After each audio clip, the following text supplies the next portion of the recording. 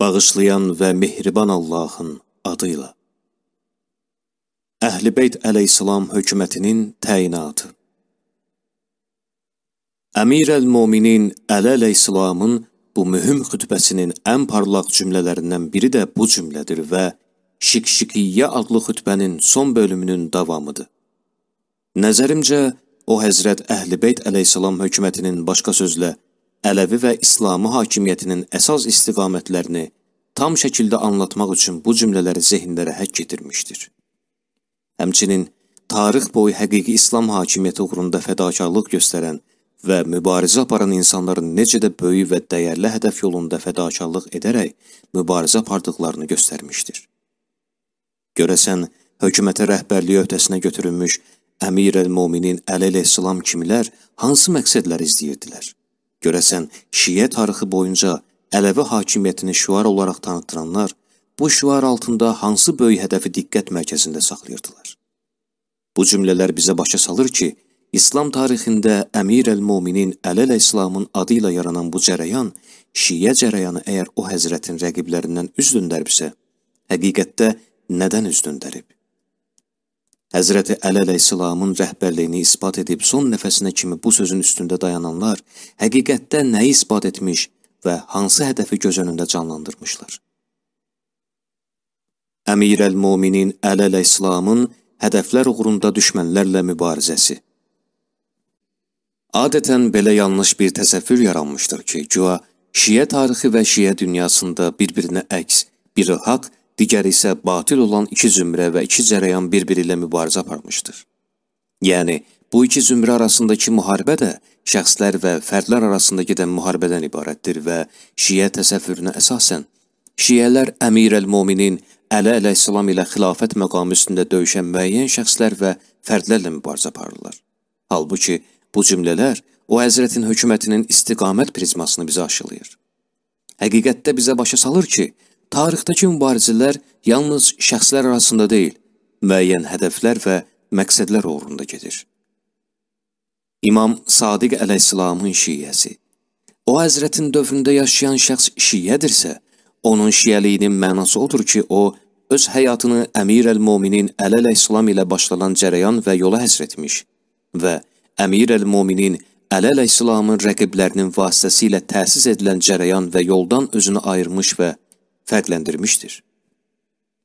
Həqiqətdə, İmam Sadiq əleyhissalamın dövründəki şiyənin döyüşdüyü şəxs Muaviyə deyil, Mənsur Abbasi və Mərvan Himardır.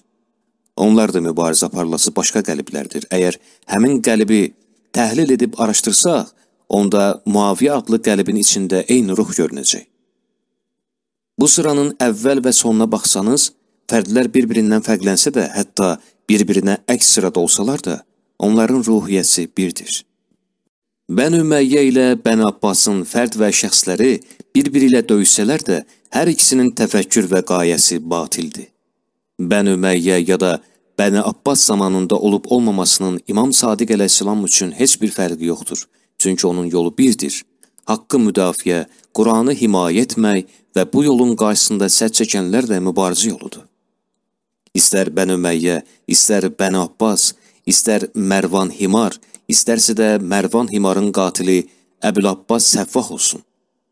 İmam Sadiq əleyhissalamın getdiyi yol digər yolların, xüsusən də onun yoluna əks olanların inkarını tələb edir. Şiyəlik budur. Məhz bu səbəbdən də Bən Üməyyənin zamanında şiyəlik və şiyə imamlarına indirilən zərbələr Bən Abbasın zamanında davam etdi. Bən Üməyyənin dövründə yaşayan imamların taleyi ilə Bən Abbasın zamanında yaşayan imamların tali arasında iynənin ucu qədər də fərqi yoxdur. Yəni, Kərbəla hadisəsindən sonra ikinci növbədə İmam Səccad əleyhissalamı da zəncirləyərək Mədinədən Şama çəkib aparır və orada həbs edirlər. İmam Baqir əleyhissalamı da Şamda həbs edirlər. İmam Səccad əleyhissalam və İmam Baqir əleyhissalamın dövründəki hakimiyyət nümayəndələrindən tamamilə fərqlənən başqa hökumət rəhbərlərinin zamanında İmam Musa İbni Cəfəri əleyhissalamı da Mədinədən Bağdada aparıb, orada və digər şəhərlərdə həbs edirlər. Tale bir, yol bir, iş bir, düşmən bir, hədəf bir və şiyyəlik birdir. Şiəliyin tarixi düşməni yoxdur. Onun tarixi düşmənləri şiəlik yolunu kəsdikləri üçün şiəliyin tarixi düşmənlərə kimi tanıtdırılmışlar. Buna görə də şiəlik hədəflərinə müxalif olaraq yaşadıqlarından şiə dünyası tərəfindən lənətlənmiş və tərk olunmuşlar.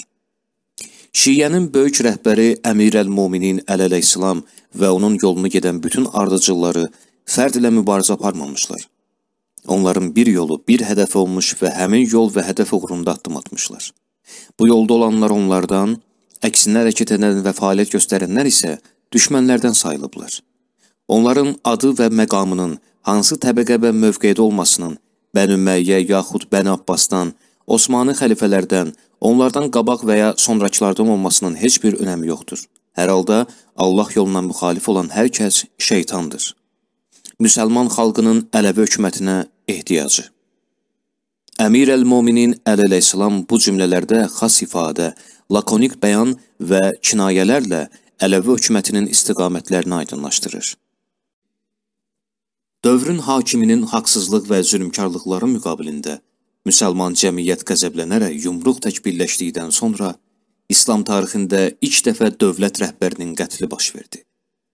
Quran oxuyan, və Qurana ehtiram edən müsəlmanlar xəlifəni Quran oxuduğu halda öldürdülər və bunu qürbət qəsdi ilə Allaha xatir yerinə yetirdilər.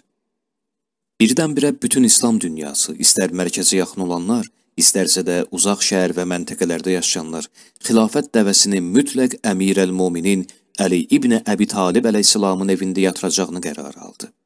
Bu susuz, zəif və halsız bədən, İslami cəmiyyət gözlənilmədən hansı fenomenə, hansı rəhbərə, hansı böyük insana möhtac olduğunu hiss etdi. Xalqın ayıqlığı, İslam ümmətinin ictimai və İslami düşüncə və şuuru münasib vəziyyətə yetişdi, öz həqiqi rəhbərini tanıya bildi. Əgər bunu əvvəldə şəxslə tanıya bilmirdisə, indi şəxsiyyət sayəsində tanıya bildi. Müsəlman xalqı 12 yaşında ikən sosial təbəqələşmədən, Osmanın qohumbazlığı və ayrı səskiliyindən gördüyü zərərləri İslam cəmiyyətinin başında dayananların İslamın müqəddəs məsələlərini müdafiə etməkdə aciz olduqlarını, müsəlman xalqının zaman ötdükcə məhrumiyyət, naçamlıq, pərakəndəlik və fəsadla üzləşdiyini, onları səadət və qurtuluşa yetirə biləcək bir rəhbərə ehtiyac olduğunu hiss etdikdə, ümmətdə azacıq irəliləyiş, şuur və ayıqlıq yarandı. O zaman Quranın özü, dinin aydın və həqiqi mətni ona rəhbərin kim olmalı olacağını deyir. Belə bir şəraitdə qəfildən bütün İslam ümməti Həzrət Əli əleyhissalam istədiyini, o möhkəm iradəyə möhtac olduğunu hiss etdi. Cəmiyyətə rəhbərlik baxımından o, güclü və böyük qəlbə, geniş ruha malik, heç kəsdən çəkinməyən, öz tayfası, qohumları və yaxın dostlarına tərəbbazlıq etməyən, nə dostluq, nə də qorxu səbəbi ilə əsla məsuliyyətdən boyun qaçırmayan biri idi. Cəmiyyət də İslamın belə böyük şəxsiyyətinə ehtiyacın zəruriliyini duydu. Belə böyük və əzəmətli şəxsiyyətin cəmiyyət arasında yaşadığını, həqiqi rəhbərin kim olduğunu anladıqda, Həzrətin özünün buyurduğu kimi, bu zaman cəmaat onun evinin ətrafına axışdı. Hətta Həsənlə Hüseyin ayaq altında qaldılar. Bunu ötən həftələrdə oxuyub tərcümə etmişdim, indi isə davamını oxuyuram. Əmir əl-Mominin əleyhissalam müsəlman xalqının ümumi xahiş və tələbi ilə qarşılaşdıqda xilafəti qəbul etdi. İmam əleyhissalamın öz ifadəsi ilə desək, xilafət vadisindən bu ilahi məqam və vəzifədən, hakimiyyətdən 25 il uzaq yaşadıqdan sonra birdən xilafət ona təqdim olundu.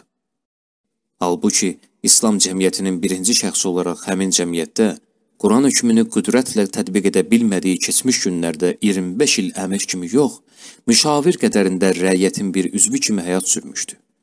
Yalnız zərurət zamanı hakim təbəqəyə yardım əlini uzatmış, onları azğınlıq və büdrəmələrdən uzaqlaşdırıb, haqq yol onlara göstərmişdi. Onları himayə etdiyi, hətta öz evində bir saat belə rahat oturmadığı, ictimai fəaliyyətdən kənar qalmadığı, İslam cəmiyyətinin sırafi bir üzvü olduğu, İşini ciddiyyət və məsuliyyətlə gördüyü bu müddətdən 25 ildən sonra indi xilafət ona təqdim olundu və o da xilafəti qəbul etdi. Ey Əmirəl-Muminin əleyhissalam, xilafəti niyə qəbul etdiniz? Siz 25 il zülmə məruz qaldıqdan, Bu səhifəni səlis xətlə yaza bilməyənlər onu pis xətləri ilə qaraladıqdan, rəhbər və vəzifə sahiblərinin acizliyi nəticəsində cəmiyyəti tənəzzülə uğratdıqdan və yaxud onu uçurumun kənarına sürüklədikdən sonra nə səbəb oldu ki, ömrünüzün bu son illərində İslam'a rəhbərlik vəzifəsini qəbul etdiniz? Nə üçün yenə rəyyətin bir üzvü kimi yaşamaq istəmədiniz? Olmazdı ki, Təlhə, Zübeyir, Abdullah Ömər və başqa-başqa adamlar hökumət və rəhbərliyə əl alsın, siz də onlara kömək edəsiz? Mövlamız Əmir əl-Muminin əleyhissalam bu sualı cavablandırır və bu cavabda öz hökumətinin məqsədlərini və çəkdiyi ağır zəhmətinin əsas fəlsəfəsini bəyan edir. Əmir əl-Muminin Əli əleyhissalamın nəzərində hökumətin dəyərsizliyi. Həzrət buyurur ki, mən qüdrət və hökuməti dünya bəzəyi olduğu üçün sevmədim. Qüdrət və hakimiyyət üçün ürəyim döyünmədi. Qüdrəti əsas hədəf və məqsəd seçmədim. Hökumət mənim üçün həyatın gözəl bərbəzəyinə çevrilmədi. Ey dünyanın ən kiçik qüdrəti və ən dəyərsiz məqamı üçün öz böyük dəyər və şərafətinə göz yuman qafil insanlar. Ey həyatda vəzifə, qüdrət və şöhrəti hədəf seçənlər. Əl əleyhissalamı öz sıranıza qatmayın. Onun nəzərində İslam cəmiyyətinə hakimiyyət, dünyanın şərq və qərbindəki milyonlarla müsəlmana rəhbərlik olduqca dəyərsizdir. Fikirləşdiyiniz və təsəvvür etdiyiniz qiymətdən də aşağı və kiçikdir. Yalnız o böyük qüdrət deyil, hətta bütün dünyanı İslam cəmiyyətinə əlavə edib Əmir əl-Mominin Əli əleyhissalama versəz belə, o həzrətin nəzəri və geniş ruhiyyəsində, bu böyük insanın dərin düşüncəsində, onun qiyməti təsəvvür etdiyinizdən də qat-qat aşağıdır. Keçi və yaxud qoyun sürüsündəki soyuqlamış xəstə bir keçini nəzərdən keçirin. Dünyanın bütün qoyunlarının qiyməti nə qədər olar? Dünyanın bütün keçilərinin qiyməti nə qədər olar? Bütün bunların arasında soyuqlanıb xəstələnən və asqıraraq burnundan iyrənc və çikli su gələn bir keçi neçəyə satılır? Keçinin öz qiyməti neçəyədirsə, onun burun suyu neçə olar? Görün, Əmir əl-Muminin əleyhissalam məsələni necə adlandırır? Bütün bu böyük qüdrət və hakimiyyət o həzrətin nəzərində xəstə bir keçinin burnunun suyundan da dəyərsiz, kiçik və əhəmiyyətsizdir. Yəni, dünyaya və ondakı hakimiyyətə verilən qiymət sıfır, hətta sıfırdan da aşağıdır. Əmir əl-Mominin əleyhissalam bu məsələdə qeyri səmimilik göstərmirdi. Bilirsiniz ki, sizin bu dünyanız mənim üçün keçinin burnunun suyu qədər dəyərsizdir. İnsanların öyündükləri və sizin də öyündüyünüz bütün bu dünya, bütün bu vəzifə və qüdrətlər – qardaşı qardaş canına salan, xalqları qırğına verən, həyatın cəlbedici və cazibədar zinətlərinin hamısı, insani dəyərlərin məhvinə səbəb olan bütün bu maddi maraqlar, Əmir əl-Mominin Əl əleyhissalam kimi bir insanın əməlində, hətta təsəvvür və təfəkküründə keçinin burnunun suyundan da dəyərsizdir. Buna rəğmən Əl əleyhissalam xilafəti qəbul edir. Mariqin dəstəsi üsyan bayrağı qaldırdıqda onlarla döyüşür. Həyatının 4 il 9 ayını həmin qüdrət və hökumətin müdafiəsinə vəqf edir. Nə üçün? Axı bu hökuməti niyə qəbul etdiniz? Rəhbərliyi qəbul etməsinin 3 səbəbi. 1. Cəmaatın tələbi və o həzrətin rəhbərliyi üçün ətrafında toplanması. Əmir əl-Muminin əleyhissalam 3 səbəb qeyd edir və buyurur.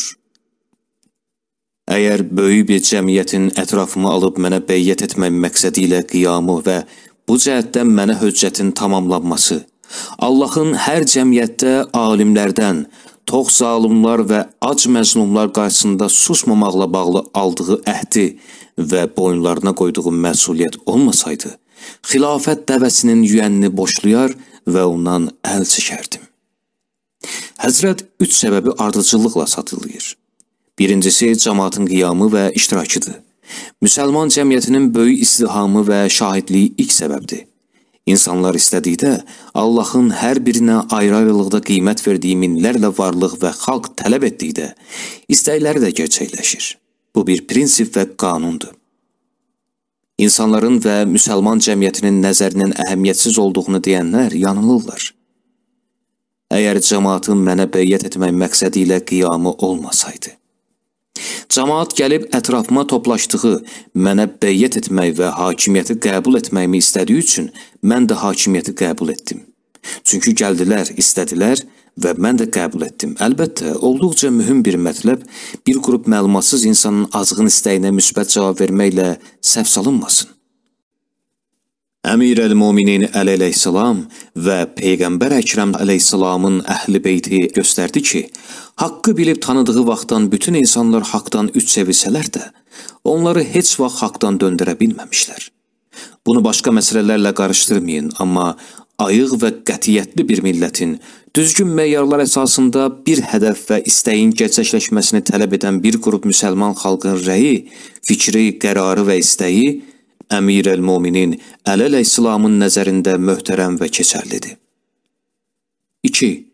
Silah və köməyin olması Mənə indiyə kimi Quran və İslamın müdafiəsi uğrunda yardım edən olmayıb.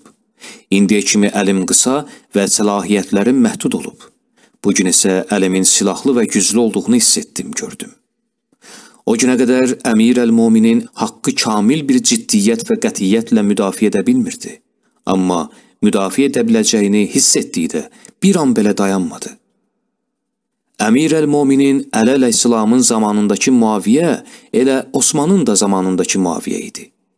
Əmir əl-Mominin Əli əleyhissalamın dövründə Muaviyənin Şamda yerinə yetirdiyi günahlar elə Osmanın dövründə neçə illər boyunca etdiyi günahlar idi. O gün Əmir əl-Mominin Əli əleyhissalam bu günahın müqabilində dillənmədi, çünki onun əlində silah, imkan və qüdrət yox idi. Əlinə silah düşdüyü zaman ona qarşı çıxdı. Əmir əl-Mominin Əl-Əslam qüdrət və hakimiyyəti ələ keçirmək üçün qiyam etmədi, çünki bunu edə bilməzdi. Edə bilməməsinin səbəbləri haqqında geniş təhlil və izahlar var. Edə bilməzdi dedikdə, bunun mənası o deyil ki, hakimiyyəti ikəlli o həzrətin evinə gətirməmişdilər. Bunun mənası o deyil ki, o həzrətin zərərinə tamamlanacaqdı və yaxud burnu qanayacaqdı. Xeyr, Əgər istəsəydi, İmam Əli əleyhissalam elə səqifə günlərində belə qələbə çalıb hakimiyyət ələ keçirə bilərdi, amma bu zaman din aradan gedəcəkdi. Zahirən qələbə çalacaq və hakimiyyətə çatacaqdı, amma həqiqətdən məğlub olacaq, zərər görəcəkdi. İndi isə köməkdən var. Nəzərdə tutduğumuz işin baş tutmasına dəlil sübut var, çünki köməkdənimiz var. Məsuliyyətli və ayıq insan höccətin onun üçün tamamlandığı, ona yardımcı olduğunu hiss etdikdə azacıq belə sərlənkarlığa və gecikməyə icazə yoxdur. Hansısa işi görə biləcəyini hiss etdikdə insan dərhal onu icra etməlidir. Xilafətin qəbul edilməsi ilə bağlı iki dəlil, iki subut gerçəkləşmişdi. 3. Məzlumlara yardımda ümmətin ayıq insanlarından alınan ilahi əhd peyman.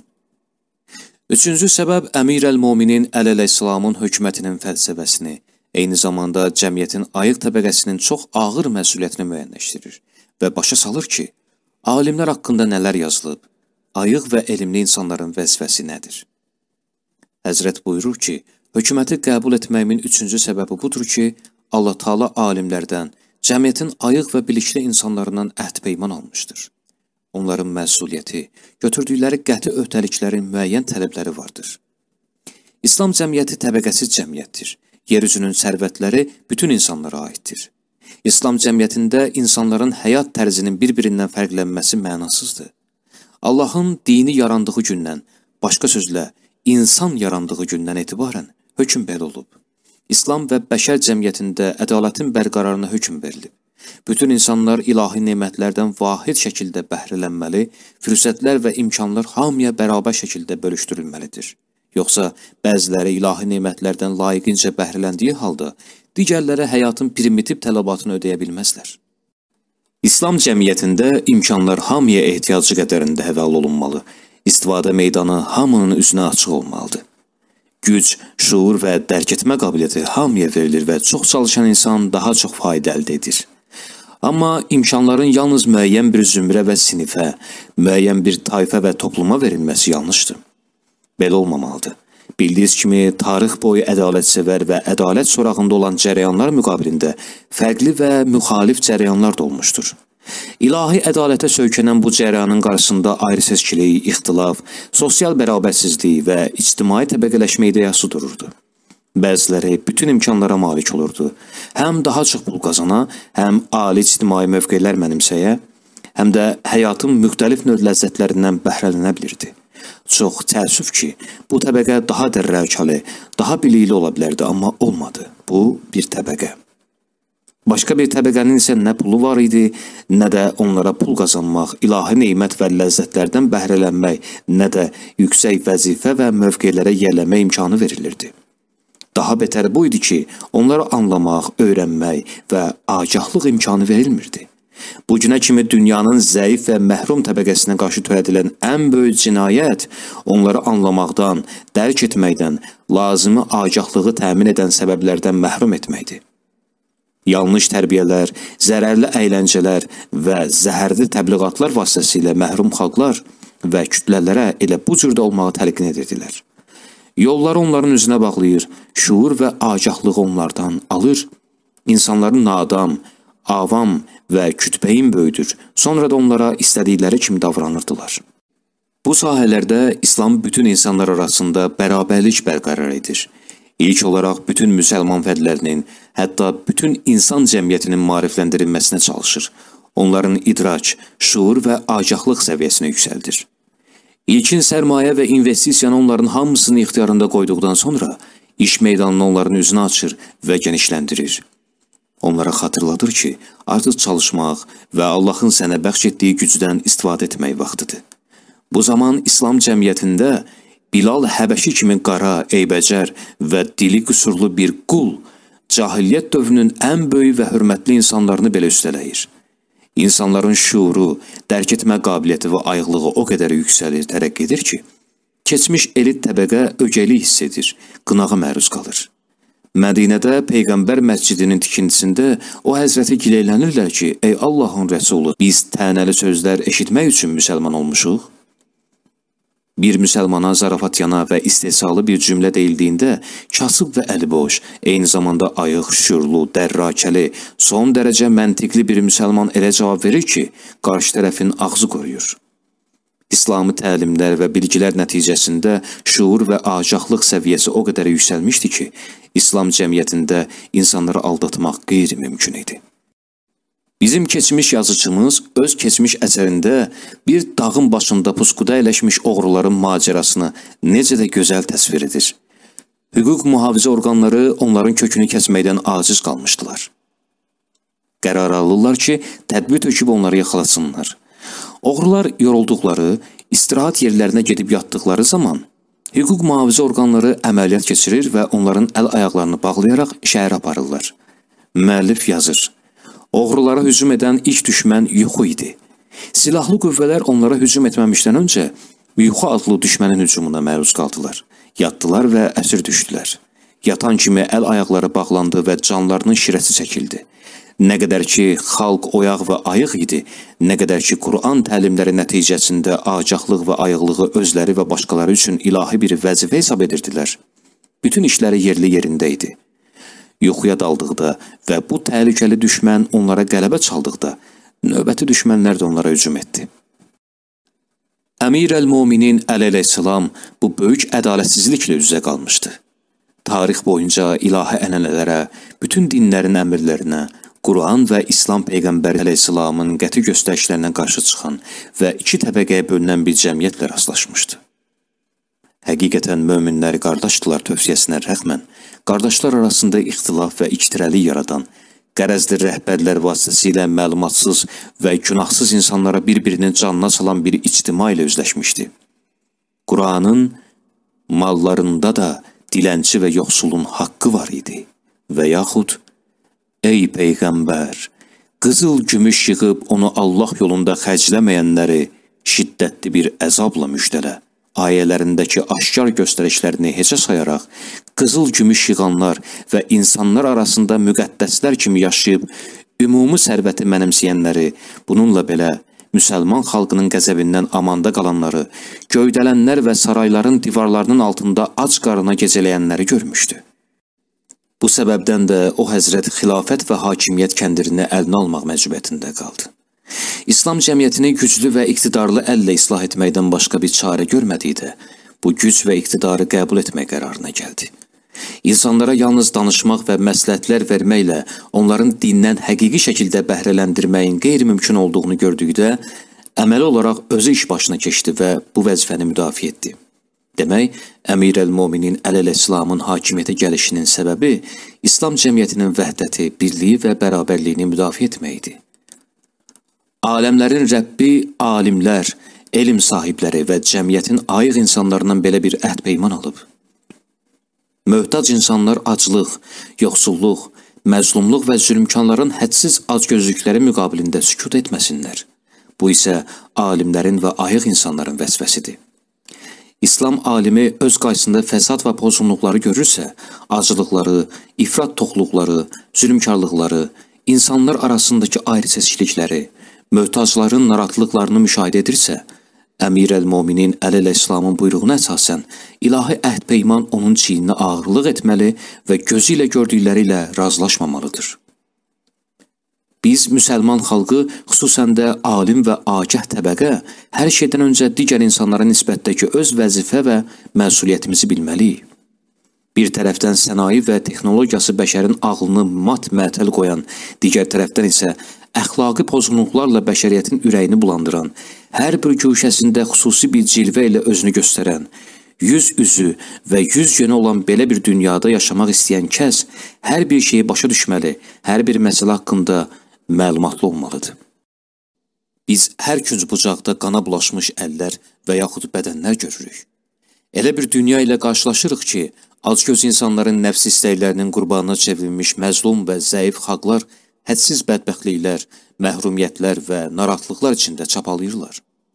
Burada aclıq hökm sürür, yoxsulluq dərəcəsi baş gizəlləndirir, hər saatda minlərlə insan acından tələf olur. İnsanlıq əleyhinə minlərlə cinayət baş verir, hər saatda minlərlə xaincəsinə planlar cızılır, bəşəriyyətin xoşbəxtlik saraylarını dağıtmaq üçün minlərlə bomba atılır. Quran və İslam xüsusi olaraq zəhərli oxların vasitəsilə hədəf alınır. Bəşərin düçar olduğu uğursuzluq və bədbəxtliklər nəticəsində yavaş-yavaş İslam və Quranın qiyməti dəyəri bilinir. Onun sayəsində mənfur və qara qəlblər aydınlanır. Quran adlı günəş təcalla etdikcə, Quran düşmənləri və müxalifləri Quranın diriliyinin onların ölümünə bərabər olan kəslər hər an və hər gün Quranın məhvi üçün tədbirlər tökür, planlar cızırlar. Müsəlman qalmaq, müsəlman ölmək, Quran və İslam təlimləri əsasında yaşamaq, və Allahın razılığını qazanmaq istəyən kəs belə bir dünyada olduqca diqqətli və göz açıq olmalıdır. İslam alimləri, müsəlmanlar qalasının gözətçiləri. Mən adətən təsəvvür məqamında və öz zehnimdə din və İslam alimini bir qalanın gözətçilərinə bənzədirəm. Bir qrup insanın yaşadığı və düşmənlərin də ətrafını mühasirəyə aldığı, tavanı hündür və görkəmi çox gözəl olan bir qalanı Onun ətrafındakı göydələnləri və onun qoruyan çoxsaylı gözətçiləri təsəvvür edin. Allah eləməmiş birdən bu göydələnlərin başında əyləşən gözətçilər mürgüləsə, yatsa, qorxaq olsa, gözləri zəif olsa, öz rahatlıqlarını güdüb dörd tərəfi izləməsə, ətrafa baxmasa, əllərinə silah tutub hücuma hazır vəziyyətdə dayanan düşmənləri görməsə, qalaya və onun divarlarına doğru hücuma keçənləri tanımasa, düşmənlər çox rahatlıqla qalaya yaxınlaşıb Onun divarlarını dələrək içəri keçə biləcək, onu çapıb talayacaq, abır həya qoymayacaq, namusa toxunacaq və pulları da yığışdırıb aparacaq. Çünki başda əyləşən gözətçi mürgüləmiş və hadisədən xəbərsizdir. Bəli, İslam dünyası da gözəl ifadə ilə desəm, İslamın göstəriş və hökmləri də həmin qala və onun ətrafındakı göydələnləri xatırladır. Bu göydələnlərin başında gözətçilər var və onlar İslam alimləridir. Bu gözətçilər əlləri və dillərində Quran olan kəslərdir. Həmin kəsləri biz əsrlər boyu məzhəb qəyyumları və cahçıları, çoxlu xidmətlər göstərmiş, böyük və dəyərli işlər görmüş insanlar kimi tanımışıq. Biz öz keçmişimizə və İslamın bu gözətçilərinə nəzər saldıqda, belimizi onların xidməti altında bükülmüş görürük. İslam marifi və hökmləri, möhkəm fikrimiz və ixtiyarımızda olan İslami iz onların sayəsində formalaşmışdı. Amma bugünkü dünya başqa bir dünyadır. Bugün bu göydələnlərin daha ayıq-sayıq gözətçilərə ehtiyacı var. Xüsusən də daha hündür göydələnlərin başında dayananların məsuliyyəti daha böyük, daha ağırdır. Bu gün müsəlman cəmiyyətinin bir an belə qəflətə düşər olmayan, dünyanı yaxşı tanıyan, İslam düşmənlərinin planlarını gözəl başa düşə bilən alimlərə ehtiyacı vardır. Onlar düşmənin hansı tərəfdən hücuma keçəcəklərini yaxşı bilməlidirlər. Əgər göydələnlərin üstündəki bir gözətçi qartal tək onun ətrafını izləmək əvəzinə evinin içinə girib yatacaqsa, düşməni görməyəcək. Əgər olduğu yerdə gözlərini bağlayacaqsa, düşməni ayırt etməyəcək. Əgər bir an mürgüləyəcək və görməzdən gələcəksə, düşməni tanımayacaq. Əgər düşməndən qorxacaqsa, düşməni görsə də onun qarşısında müqavimət göstərməyəcək. Əgər düşmənlə münasibət quracaqsa, onu vurmayacaq. Ona və çirkin qəlbinə oxu batırmayacaq. Başda əyləşən gözətçi sürətlə uçan, iti baxışları ilə uzaqları görən qartal tək İslam məntəqəsinin hər tərəfini görməli, elə ayıq olmalıdır ki, uzaqdan düşməni tanımalı, düşmənin hücum nöqtəsini dəqiqləşdirməli, düşmənlə mübarizədə cəsarətli olmalı, düşmən yerindən tərpəndikdə uzaqdan oxla hədəf almalı və beləcə İslam qalasını himayə etməlidir. Bu, ayıq İslam aliminin vəzifəsidir. İslam cəmiyyətinin şiddətlə ehtiyac duyduğu, ölmüş bədənə ruh və can verə biləcək şəxs də elə budur. İslamda belə gözətçilər olduğu zaman düşmənin Qur'an və İslamın əleyhinə hücumu nəticəsiz qalacaq. Onun tərəfindən atılan ox İslam bədəni və İslam qalasına dəyməyəcəkdir. Alim, onun vəzifəsi və üzərindəki məsuliyyət budur. Mən öz nəzərimdə alimi hər zaman gözətçi tək möhkəm oxlara, tutarlı dəlil sübutlara, güclü məntiqə, yüksək düşüncəyə sahib. Əlində kaman tutub daim hər tərəfi gözdən keçirən, hər tərəfdən düşməni izləyən, hər tərəfdən İslam qalasına hücum edən düşməni əzib yerində otuzduran, hücumlarını dəf və planlarını alt üst edən kimi canlandırmışım. Əmir əl-Muminin Əli əleyhissalam alimlərin məsuliyyətini xatırlayır. Əgər Allahın hər cəmiyyətdə alimlərdən, tox zalımlar və ac məzlumlar qarşısında susmamaqla bağlı aldığı əhd və boyunlarına qoyduğu məsuliyyət olmasaydı, xilafət dəvəsinin yüyənini boşlayar və ondan əl çəkərdim. İlahi, səni Muhammed və Ali Muhammedə and veririk. Müsəlman xalqına agahlıq bəxş et. İlahi, səni Muhammed və Ali Muhammedə and veririk. Bizi Muhammed və Ali Muhammedin həqiqi ardıcıllarından et. İlahi, bizi Muhammed və Ali Muhammedin həyatı ilə yaşat, onlara əta etdiyin ən gözəl və ən şərəfli ölümü bizə də nəsib et. İlahi, səni Muhammed və Ali Muhammedə an veririk. Nadanlıq, çaşqınlıq və xurafat pərdələrini müsəlman xalqının gözləri önündən qaldır. İlahi, səni Muhammed və Ali Muhammedə an veririk öz həyatlarını İslam və Qur'anın məhvinə həsr edənləri öldür, Qur'an və İslama düşməncəsinə uzanan təcavüzkar əlləri qır. İlahi, səni Muhammed və Ali Muhammedə an veririk, bizimlə İslam və Qur'an arasındakı fasiləni aradan qaldır. İlahi, səni Muhammed və Ali Muhammedə an veririk, bizi müsəlman kimi yaşat və müsəlman kimi öldür. İlahi, səni Muhammed və Ali Muhammedə and veririk, öz yolunu bizim üçün daha da işıqlandır. İlahi, bu yolda bizim iradə və əzmimizi daha da möhkəmləndir. İlahi, süslükləri, şək şübhələri və büdrəkləri bizdən uzaqlaşdır və bizim hamımıza qətiyyətlilik mərhəmət et. İlahi, Mövlamızın zuhurunu tezləşdir.